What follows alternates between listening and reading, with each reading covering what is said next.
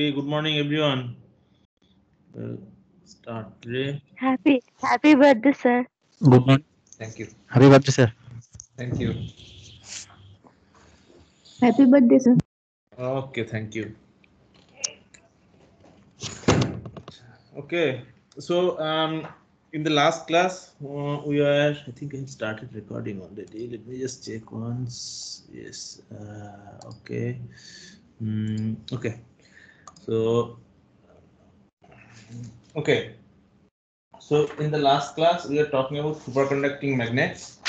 And uh, we have explained briefly about what is a superconductor, how does it work, what are the important parameters that uh, are to be taken care of or needs some sort of consideration while designing a magnet. Uh, so there are three important factors, critical field, critical temperature and critical current. Okay, and then we have uh, described um, through a simple circuit uh, what is the persistent mode of operation of a superconducting magnet. So I hope everything is clear. If you have any question, you can ask me. Okay. So if not, then uh, I'll. Mm, there's basically a small part which was left in the last class. So I mentioned that the coil or the superconducting coil is not entirely superconducting. Rather, it is made up of tiny filaments of superconductor within a copper matrix. Okay, so as we know that if it is entirely superconducting, then it will probably carry a higher amount of current, but that will not give me mechanical stability. The reason is that typically the superconducting materials are very brittle, okay, which means that they are, let's say there's a mechanical shock, then they can break down. So for practical use, we need to add some sort of mechanical stability because as you know that uh, these cables can go through rough handling or operation. So that is why it is mixed with a copper uh, matrix. So basically these coils are made very um, kind of like tiny lengths of these wires. They're kept and then they're uh, kept together with copper wires. So the reason is that, so let's say if these are, uh, um, let's say this superconducting part, they will anyway provide a less resistance path whenever current will flow through it. So that will not disturb the operation. But in case, let's say the superconductor does not stay superconducting, okay, in let's say in an extreme situation, in that case, what will happen is that this high amount of current will pass through a non-superconducting material. So there will be very large amount of heating. Okay, so it might cause some sort of uh, breakdown. So that is why copper is placed because copper is a good conductor of heat and electricity. Okay, also it has mechanical stability. So that is why for this extreme situation, for at least a small period of time, this current can pass through this copper wire without creating much damage. Okay, so that is why copper is used there. Okay, uh, so is there any question on this? Okay. Why is this thing coming here? Give. Uh, in, uh, by the uh, can you hear me? I think you can hear me. Why is this thing coming here? Review. Okay, start thinking. Okay. Okay. So, uh, hello. Am I audible? Yes, sir. Okay, okay. Yes, sir. Okay, okay, good. Okay, so next I'll describe something which is called as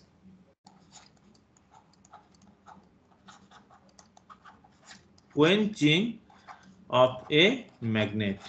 Okay, so you might have heard about this term if you have worked with a magnet earlier, but probably um, you might not. Anyway, so uh, the quenching is uh, basically term to explain the fact that this magnet is suddenly loses its non-normality. Okay, so let me explain it. Okay, So typically, let's say the superconducting wire, it is kept inside some cryogenic liquid. Okay, so it stays superconducting. That means we make sure that it can pass a high amount of current. Okay, but in extreme situation, as I just explained, that it might become resistive, which means that the superconducting state might go to a normal state. Okay, right. So this can happen because of many reasons. Like for example, let's say if the field inside the magnet is too large, or let's say the field gradient is too large. Okay. So in that case, what will happen is that maybe because of some uh, this a small part of the magnet, it like kind of get heated up. Or let's say because of the material processing or uh, some sort of like uh, defect okay?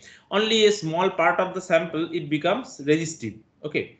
So if a particular spot like that becomes resistive so what will happen is that this high current will create a lot of joule heating. So it suddenly raises the temperature of the surrounding region also okay? And if that happens then it will create a lot of boiling of, of the liquid and more amount of normal region will be created. Okay, so it's some sort of like chain reaction. Okay, and within a very small amount of time, the entire magnet will be normal. Normal in the sense like it will go out of the superconducting state to a normal state. Okay, so what about the magnetic energy that will be converted into the heat? Okay, so I mean, uh, that is kind of a very instantaneous phenomena and it can create several things like, for example, uh, voltage spikes can be there or uh, let's say the magnet can have permanent damage also. Okay. So, for example, the material might break down. Okay. So, uh, let's say some part gets melted. Okay. So, it creates like permanent damage in the magnet. So, this is basically called as quenching of a magnet, which means that the material is suddenly dried off the liquid okay, or the cryogenic liquid. Okay, so it becomes th thirsty of that liquid, let's say. So it wants to go to the superconducting state, but it is not able to. So, uh, I mean, this is not a very healthy thing, but it can happen to a magnet because of many things. For example, the manufacturing defect, or let's say the material itself has some issue, or suddenly because of the fluctuation in the current line. So many things uh, can be the reason behind this. Now, in order to protect this thing, so we have to make sure that such situation don't arise. And this, um, I mean, usually these days, the magnets, they come up with a safety switch, okay, which basically limits the current that flows through the magnet if such situation arises. Okay, so if there is, let's say, rapid uh, change of the superconducting state, or let's say if there is a rapid heating or the temperature change, then what that switch will do is that it will stop passing any current through the magnet at all. So it will create or it will basically protect it from any further damage. Okay. Uh, is, is, is this part clear?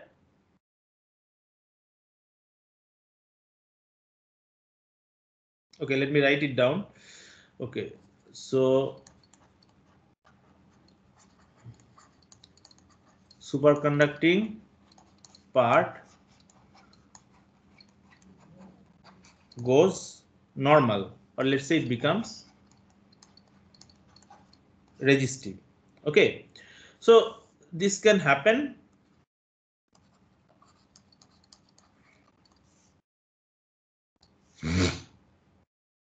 if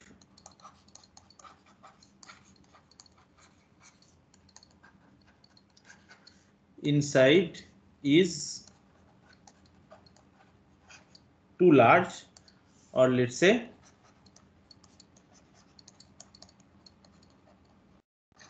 dBdt is large okay or also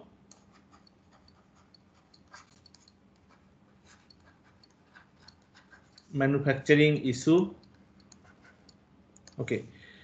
So in the next step what will happen is that a particular spot or an area it has rapid joule heating okay and that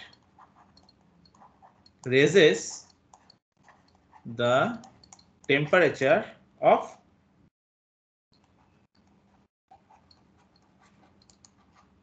surrounding regions. Okay.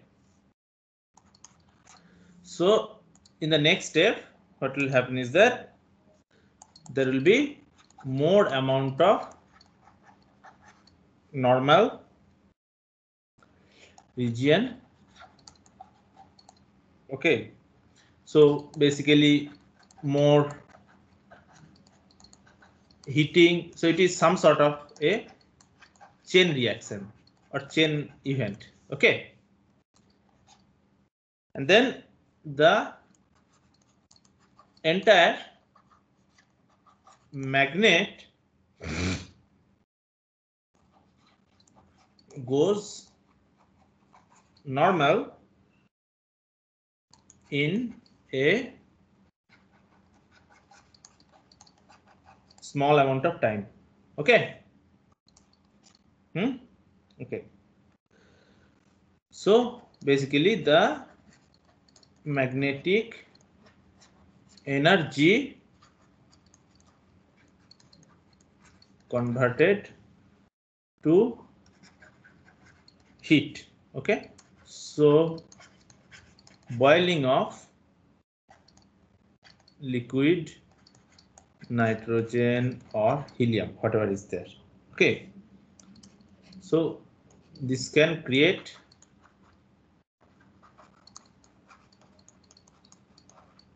current spike so not current spike sorry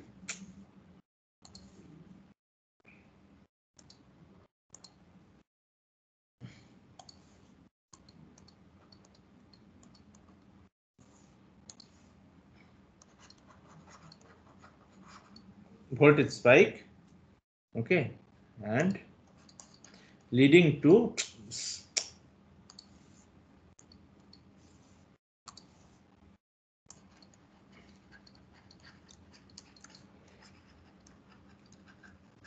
permanent damage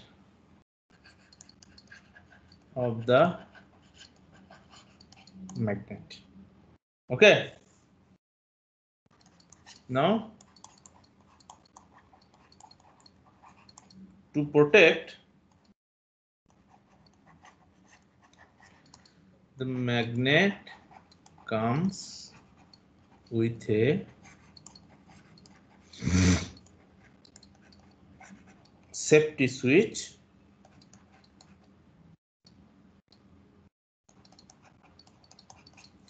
To limit the current when quench is detected. Okay? So is this part clear? Anyone? Has any question?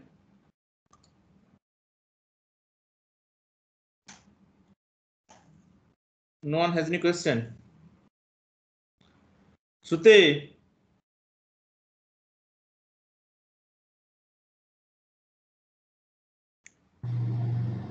Sir, can you please uh, show the uh, last uh, uh, page? Last page? Yeah. This one? No, no, uh, previous one. This one, okay.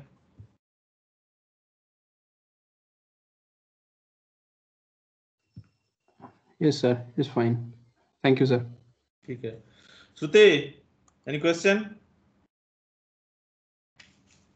No, sir no clear. Okay very good then. Okay so we will finish the magnet part here. And um, okay. So if there is no question so then i'll create a new ppt because it is becoming quite heavy. Okay okay. Mm. okay we'll put something later. Okay so uh, now i'll mm, I mean, we have not yet made too much into the topic yet.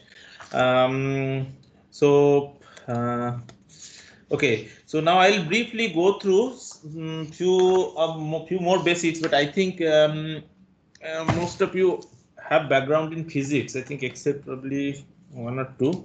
So i'll not spend too much time. So um, as uh, you know, basically, um, so what is this Things coming? Stop. presenting. Okay.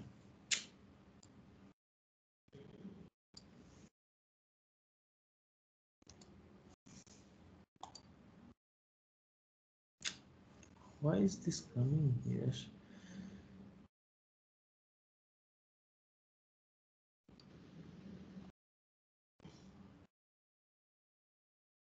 Okay. Okay, is this visible? PPT? Yes, Yes, sir. sir. Okay, okay. Okay, so um, as I explained, uh, I think before I was talking about magnet, that uh, the key quantity that we deal with here, people are waiting in the lobby. Who is waiting in the lobby? Sumana Das. Okay, so the important or the most useful quantity is magnetic moment, and we also showed that this magnetic moment is associated with some sort of angular momentum, right? Okay, so uh, now as we know that in magnetism mostly we talk about electrons. Okay, so it's the spin which we'll be talking. I mean that basically the quantum mechanical description um, mm, is the mean, it is basically the quantum mechanical description which is given through the spin. Okay, so I hope all of you are familiar with spin. Okay, so I'll basically very briefly go through this thing just as a recap. Okay.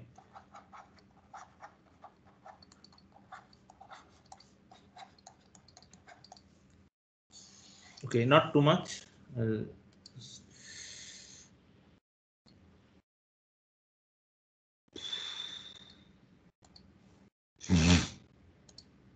Okay. So uh, basically, um, as we said, that this electronic angular momentum is associ- associated. So as uh, you remember that we said that whenever there's a charged particle that is moving around a closed loop, that mm, gives me some sort of magnetic moment. Okay, and there is an angular momentum that is associated with it. Okay, now this um, for an electron, if we consider the charged particle as uh, the as an electron, okay, so here basically there will be two types of angular momentum. One is orbital. I think I have already covered this thing in your atomic physics course. Another is spin part. Okay. So this one is denoted by this vector L and this is denoted by the vector S. Okay. So any question on this? I think you already know this is pretty basic. Okay. So uh, this orbital angular momentum uh, it is basically denoted i mean it basically represents the orbital motion so if we want to think of this electron is moving around a nucleus then whatever the energy or the useful or the basically uh, related quantities that will be governed by this orbital angular momentum. Okay so the operator that here we deal with is l square and lz right? Okay so this l square it has the eigenvalue L times L plus 1 h bar square and Lz it has the angular momentum ml h bar. Okay, so L is the quantum number for L square and Lz is the z component with quantum number ml.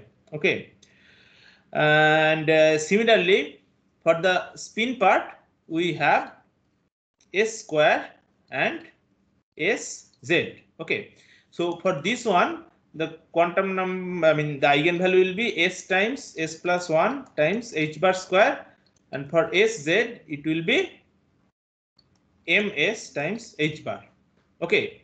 So L is total, okay, orbital, of course, orbital angular momentum and Lz is the z component of this. Okay. Similarly s is the total spin angular momentum and sz is the z component of that. Okay, any question on this? Anyone? Okay, let me see who are here. Okay. Mm. Abhishek?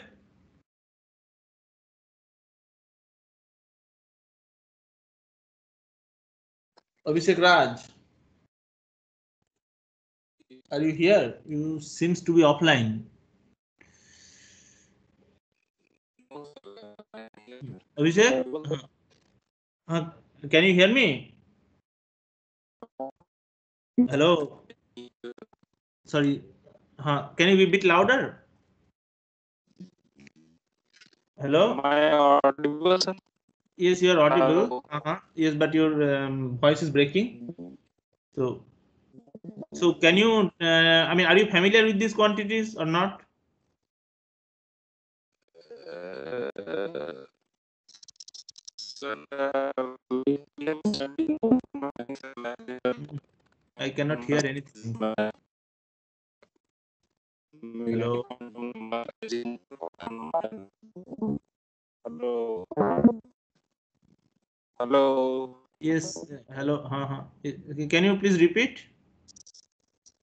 Sir, uh, I have studied in uh, sir, uh, that there are four quantum numbers. The first one is uh, principal quantum number. Second one is Yes. magnetic quantum number. And, uh, Yes. quantum. Okay. Okay. Yes.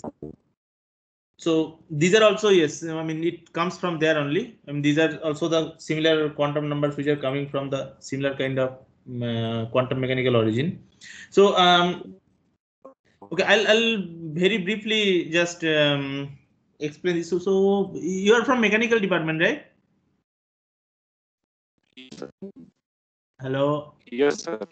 Okay. Okay. Okay. Yes, sir. Okay, and uh, Akshay Tiwari, are you? Hello, Akshay. Hold. Akshay, can you hear me? Okay, so uh, I'll then very briefly I'll just mention this thing. So basically, an electron can have two quantum numbers here to represent its motion. Okay, so this orbital motion is basically, let's say, if we think that this is the nucleus and we have an electron that is moving around it. Okay, so it is it will be associated with some sort of angular momentum, right? It has some velocity that will be so it means that the velocity will be related to some angular momentum. So this is represented in quantum mechanics through this angular momentum operator L. Okay, and uh, this L square is the one which we use because uh, it is easier to estimate the eigenvalue, which is the basically value of um, let's say basically in quantum mechanics we talk about eigenvalues. So because L square gives an exact eigenvalue, so that is why you use the term L square. So if we want to know the value of L, we will just take simply the square root of this. Okay. And in addition to the total angular momentum, we are also interested in the Z component, which is also quantized. So the uh, eigenvalue will be ml times h bar. Okay. So ml is the quantum number that is associated with it. Okay. Now the spin part means that this electron it has an intrinsic spin. Okay. Remember this intrinsic spin. This means that it is not uh, kind of visible outside. Okay. So whatever electron we are talking about here, this electron can be associated with two different spin state. Okay, so we define this by up or down spin state. So basically this direction is set with respect to the direction of external magnetic field. So if there is no magnetic field, we don't see the effect of spin. Okay, but if there is a magnetic field, then we can see the uh, degeneracy will be lifted and uh, the individual spin state we can see there.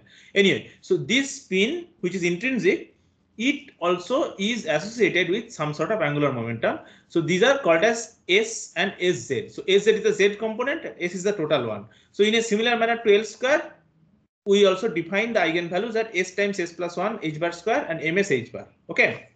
So I hope that is clear. Okay, right. So um, if I want to simply write down the equations, okay. So I'll just write that L square, let's say when it operate on a state psi, then this will give me L times L plus 1 times H bar square psi. Okay.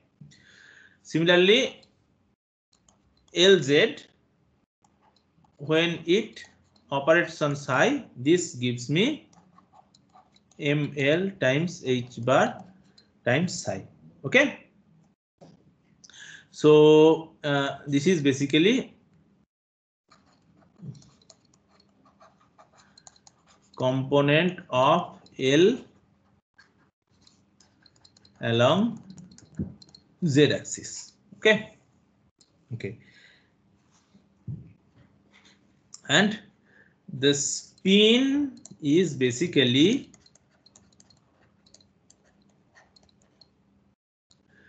intrinsic spin, okay, which is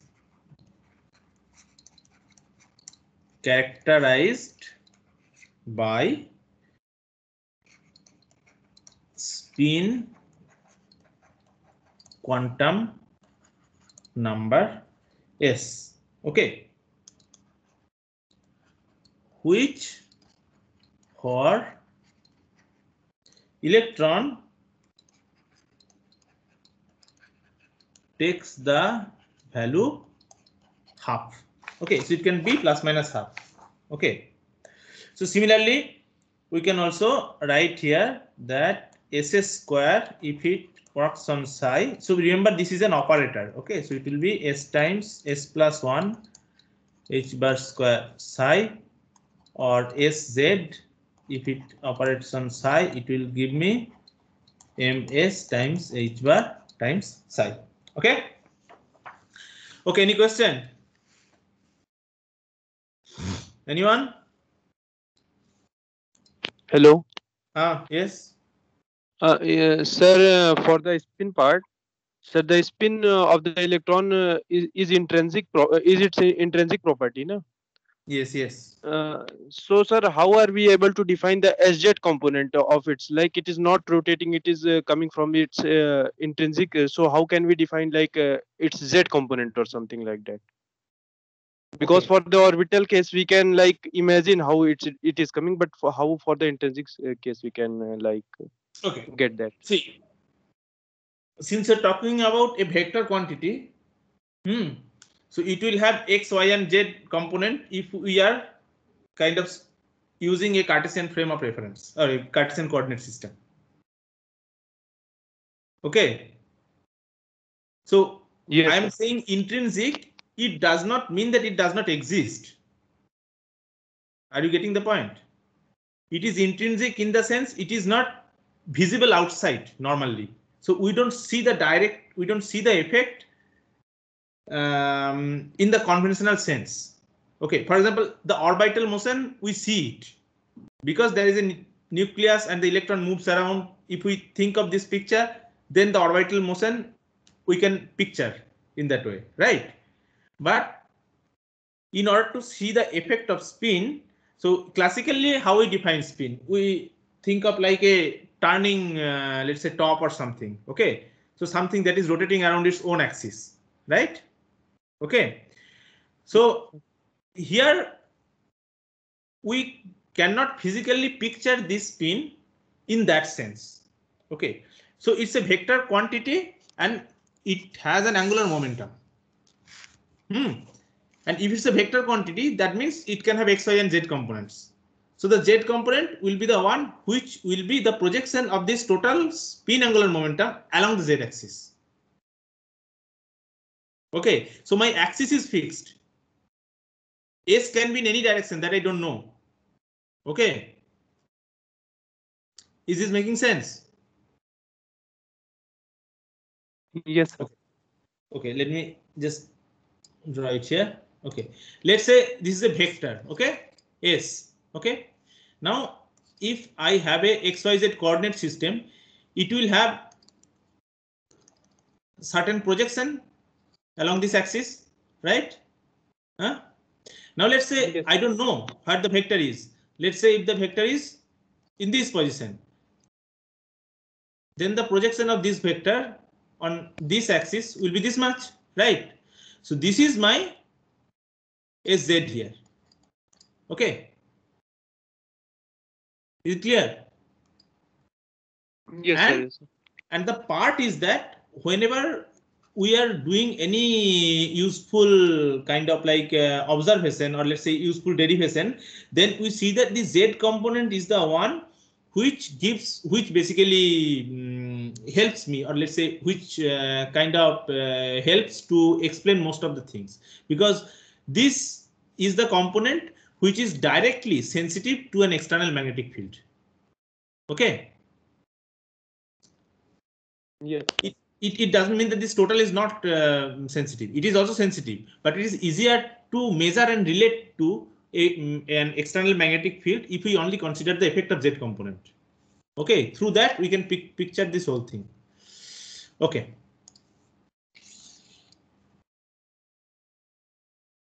Okay, good. Okay, so now, as I said, that an electron, it uh, this value of spin is half okay and it is observed that there are only um, okay so where was i?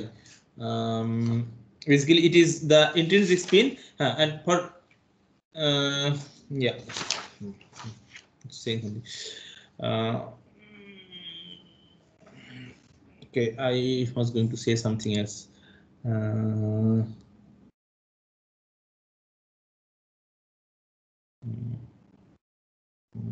Okay, right. Okay. So, so let's say here that uh, this uh, s square or the total uh, spin angular momentum that has the eigenvalue which is s times s plus 1 times h bar square. Okay.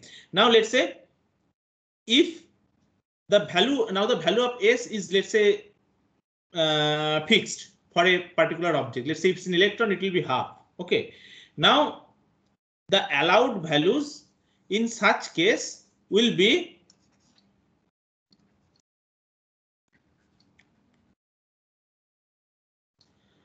allowed values of basically let's say spin angular momentum can take 2s plus 1 values like s h bar then s minus 1 h bar. So it will mm, kind of like reduce by value 1 up to minus h. Okay. So to from plus h plus s to minus s it will be a total 2s plus 1 discrete values that this operator s can take. Okay. So it is not a continuous uh, spectrum. So there are only total 2s plus 1 values that this spin angular momentum can have and they will be in this form. S h bar s minus 1 h bar to minus s h bar. Okay. So similarly if we talk about the z component okay.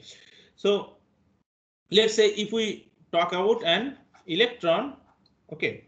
So here s is half okay so here my ms will be plus minus half. Okay? So ms means this uh, so let's say okay for a fixed s this ms can take values from s to minus s. Okay? I think you all are familiar with this thing so mm, i mean that is i'm just kind of like uh, repeating this same thing again. Okay? So if s is half then this value of ms that are possible will be plus minus half. Okay which physically means that the component of spin angular momentum along z axis are either plus h bar by 2 or minus h bar by 2. Okay, right? Okay, so let's say if we want to calculate the total spin angular momentum of an electron. So this will be okay. So it will be basically half times half plus 1 times h bar or I think this will be square root of 3 by 2 times h bar. Okay. Is it clear?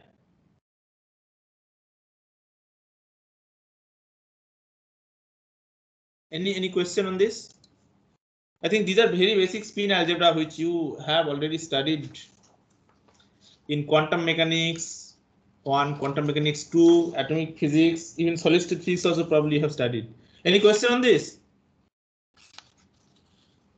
No, sir. Okay, very good. Okay, uh, now there is another uh, set of quantities. So, okay.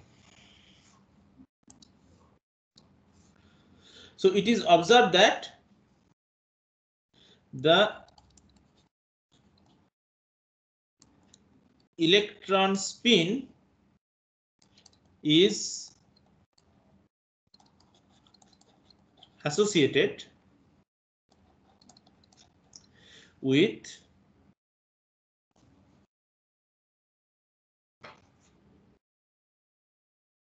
mm, let's say spin algebra okay based on three Pauli spin matrices. Okay.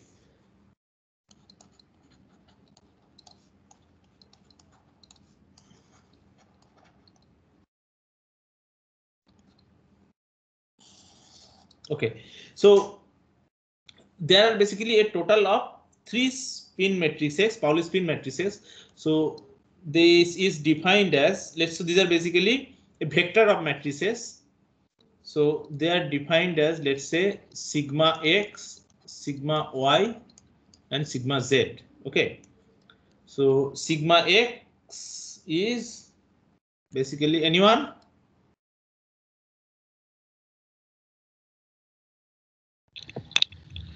Zero, one, one, zero. One, Zero zero. one one. One zero, right? Okay.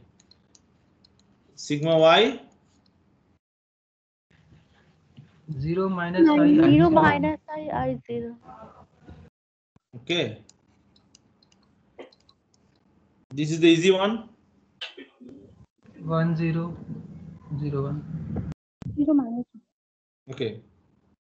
So remember for all the three components, the trace is zero. Okay. So here also it is zero. Mm, sigma i also zero. Sigma z is also zero. Okay. So uh, now you can ask me. Okay. So let me first um, mention few things. Okay. So let's say if I have a vector A okay that has components a1 a2 and a3 so which means that i can represent it through a kind of like column vector.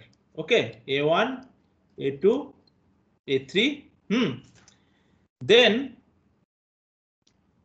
what i can have is that uh, i can get a dot product of these two Okay, so A is any arbitrary vector with three components. Okay, so here then sigma dot A will be A3, A1 minus I, A2, A1 plus I, A2, and minus A3. Okay, so here also if you see that if I take a dot product of this, okay, then also the trace is zero. Okay, now there are several identities which um, this uh, Pauli spin matrices it, they follow. So one is sigma dot A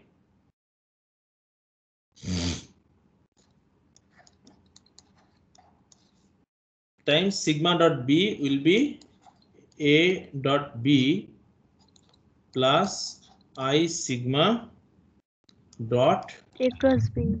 A cross B. Very good. Okay. And sigma dot A square will be A square. Okay. Huh. Now the question you can ask me that why are we so much interested with these Pauli spin matrices? Okay. The reason is that as I just mentioned in the last slide that they uh, that this term spin algebra. Okay. So the thing is that these two by two matrices they can help us to deal with the um, spin angular momentum or uh, it kind of like manipulate these quantities in a easier way. Okay. So these with these matrices we can do um, manipulation much easier. So usually what happens is that the spin angular momentum okay it is related with the spin matrices in this way. So s will be half sigma okay or in some other notation people use h cross by 2 times sigma okay. Hmm. Okay so both are valid basically. If i am saying half h cross omega half sigma then it means that i am considering h bar equals 1 okay basically some particle physics they do that okay or if i am writing h bar by 2 then it will be h bar by 2 times sigma okay but both are basically valid and true. Okay, so this is the spin angular momentum that is directly related to Pauli spin matrices through a proportionality constant. Okay, is this part clear? Okay. Okay, sir. Okay. Now this vector S it has three components Sx, Sy and Sz. Okay, which means that this Sx, Sy and Sz they can be represented through sigma x, sigma y, sigma z, right? Okay. Is this clear? Okay. Now here, out of these three, only Sz is diagonalized. Okay, so if you look at the form here, hmm. Okay, so now the corresponding eigenstates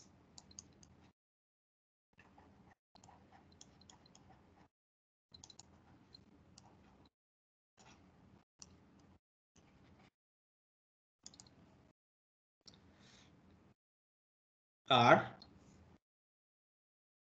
if I define, let's say um, that uh, basically these eigenstates will be, I have.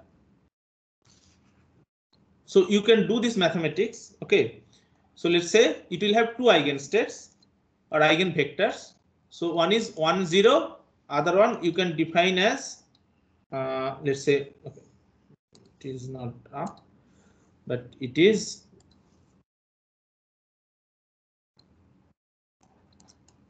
down z that will be 0 1 okay. So these two are nothing other than the eigenvectors of these matrices. Okay. Right? So if i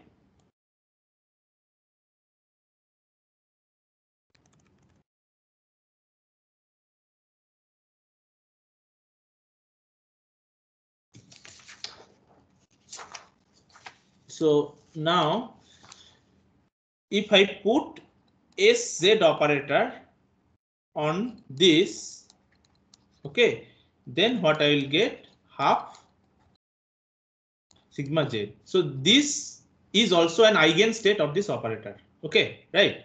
It is simple because we got the eigenvector from this matrix only, sigma z only. Okay, so this is this can be half or it can be h bar by 2 also. Okay, depending on which notation you are using. Okay, similarly sz, if you operate on this one, then you will get minus half z. Okay, is this clear? So basically, we call this 1, 0 and 0, 1 as so-called the up-down spin state in our all future uh, use. Okay. Any question?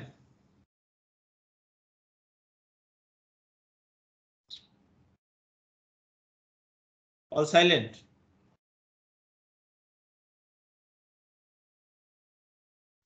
Okay.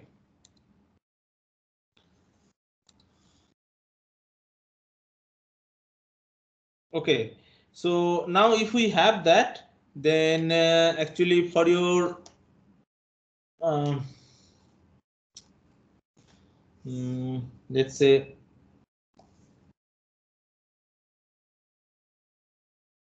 so there are uh, several uh, other relations which you can try actually at your home. So let's say if I write Sx and sy, then this commutator relation will give me isz. Okay, and similarly s square and sz, this will give me zero. Okay. Next, what I can do is that I can define two operators. One is called as raising operator. So this is s plus, which is defined as sx plus i sy. Okay, so remember to put caps on these things. I'm not putting in all the cases. Okay, because these are operators. Okay, and uh, similarly, I can have something called as a lowering operator. By the way, I have you um, are you familiar with this thing? This Yes, sir. uh, Yes, sir. Because I think you have already studied it multiple times, so that is why I'm not getting into the details. Okay, but remember these things are very much associated with uh, magnetism. Okay, so basically it is this raising and lowering are similar to what you have done in your um, harmonic oscillator. Okay, so using them also there are several identities which you can prove. For example, S plus and S minus will be 2sz then sz s plus minus will be plus minus s plus minus and ss square s plus minus will be 0 okay. Mm, okay. And then this one s plus s minus plus s minus s plus will be 2 times sxs square plus sy square. Okay, so these are different identities that can be proved here. Okay. Okay. So also if you use uh, basically mm, uh, the Pauli spin matrices, then what you can get is that S plus will be 0, 1, 0, 0. Okay. S minus will be 0, 0, 1, 0. Okay. And s squared will be 3 by 4, 1, 0, 0, 1. Okay. Okay. Any question on this?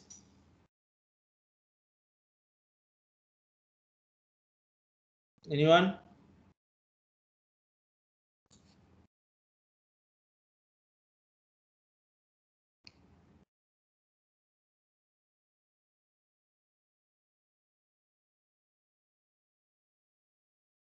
No? Okay. Good. Okay, so then next what I will talk is that the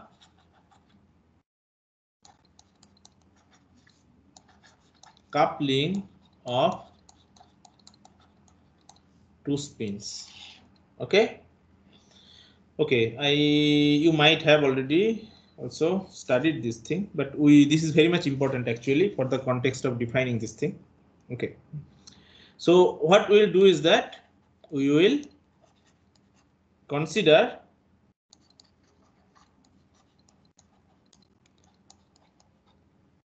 two spin half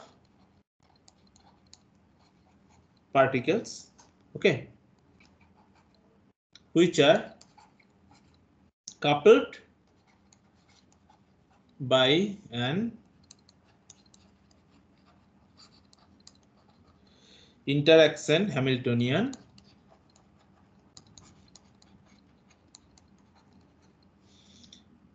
given by H will be A times S1 dot S2. Okay. Any question on this?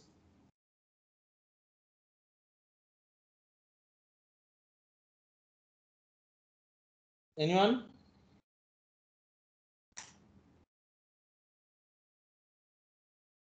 Okay.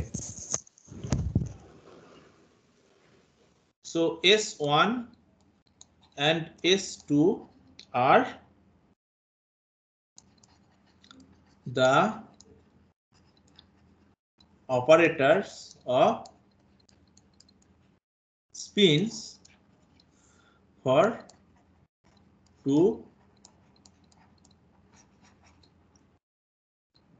particles. Okay. Any question? Okay. So we can write the total spin through an operator. Let's say S total will be S1 plus S2 or you can consider it as a vector sum. Okay. Okay. Okay. So now let's say you are given this problem that there are two spins which are interacting through a Hamiltonian and you have to find the energy eigenvalues and eigenstates. What will you do?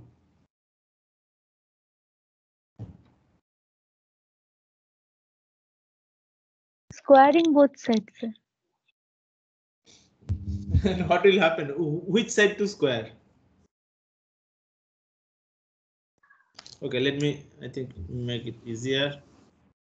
So this is my, let's say, equation number one. This is equation number two.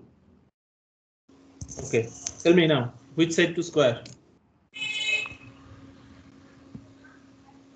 Sir, equation 2 Okay, to be why will you square it? Uh, because we want to get the uh, dot product. So only square term Okay. can get that. Now, now let's say if the form of Hamiltonian is different. Let's say S1 dot S2 square. Then what will you do? Or let's say S1 plus S2. Then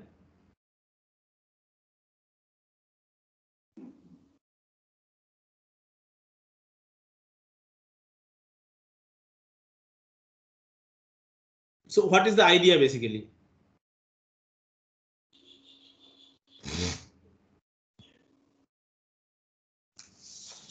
The idea is to uh, solve the right side equation on. Hmm? We have to adjust on the basis of the given Hamiltonian. Okay. So basically we have something in the Hamiltonian and we have to express it in terms of some quantities whose eigenvalues we know. Okay. Right. So Yes, what sir. we'll do that we will Okay.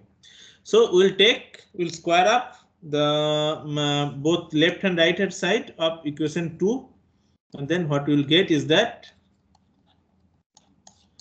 S total square is S1 square plus S2 square times 2 S1 dot S2, right? Okay. Now here we have mentioned that these are spin half particles. Okay. So let me first write down here that the eigenvalue of this one will be how much?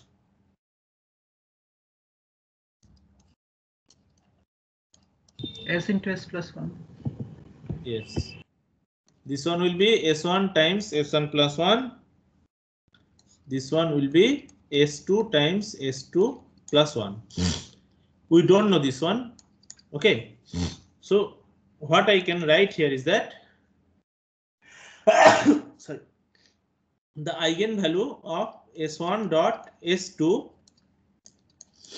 will be half times S total square minus S1 square minus S2 square. Okay. Now these are spin half particles. So S1 will be how much?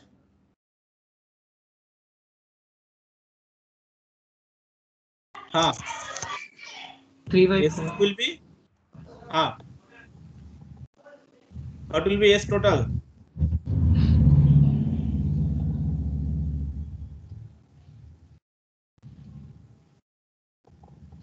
Three by four. S total is 3 by 4. That's what you are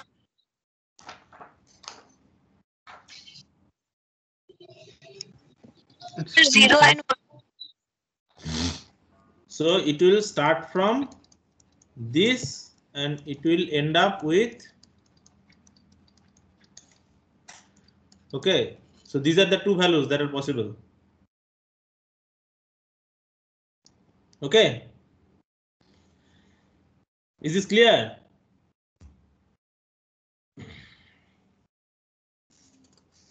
Because you are coupling two spins.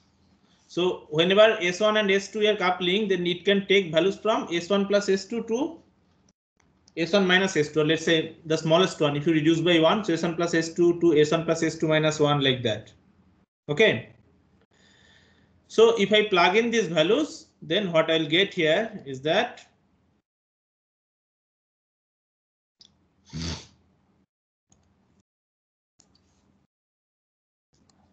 S1 dot S2 will be 1 by 4 if S equals 1 and it is minus 3 by 4 if S is 0. Okay. Hmm? Is this clear? Now, if you want to know the energy Okay, so the energy eigenvalues will be how much? So if you look at a multiplication constant A, okay, so it will be A by 4 if S is 1 or minus 3A by 4 if S equals 0. Okay. I think S total will be 1 or 0. Huh? yes. is sorry sorry sorry yes. Is S total right. Yeah total yes. Yes good. Okay.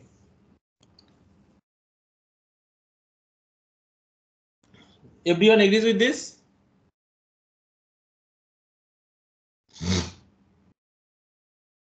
Yes or not? Yes now s total equals 1 means that the multiplicity will be how much? 3 to 1. plus 3 okay. And for s total equals 0 the multiplicity will be 1 so this is called as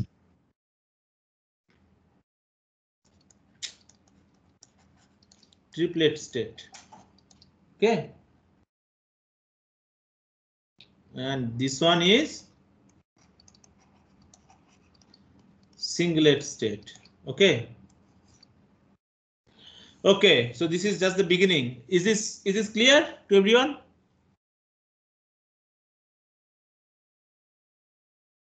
Yes. sir. Anyone has any question? No? Okay. It's very good that if you don't have any question. Akshay, Tiwari, Uh, sir, uh, actually, I have a class from 12 to 1. Can I leave the class? Yes, yes, yes, yes. We are finishing also. Okay, please go. Okay. Okay.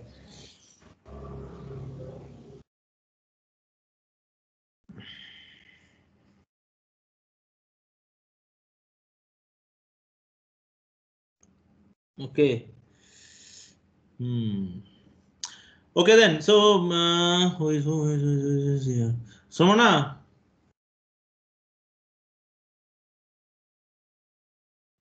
Somana? You're invisible.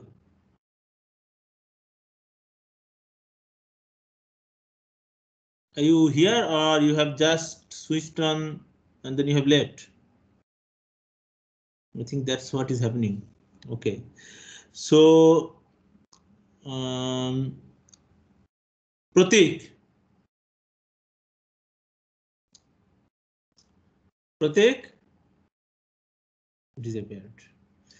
Okay, chalo. I think no one wants to answer question. Okay, then. So we'll then uh, uh, continue mm, next in the can next. Sir, sir, sir, can you uh, sir, can you show the last PPT of the last? The quenching of the magnet? Quenching of the mag. Is my PPT visible? Yes, sir, this PPT is visible. Second, let me try to see. Is it visible? No, not. Okay, let me see then. Mm. Uh, yes. Is it? Yes, sir. sir. Sir, last page. Okay, sir, thank you. Okay, chalo. Then we'll finish it here today. I think you all have classes and we'll see you in the next class.